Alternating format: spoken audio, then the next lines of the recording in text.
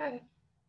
So hello, my name is Cathie Aime, and I'm a professor of mycology in the Department of Botany and Plant Pathology, and I am also the director of the Purdue University Herbaria.